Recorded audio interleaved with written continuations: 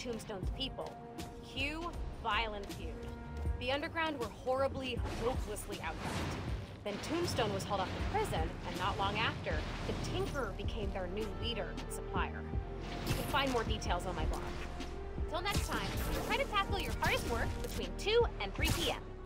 Seriously, you're at peak attention span.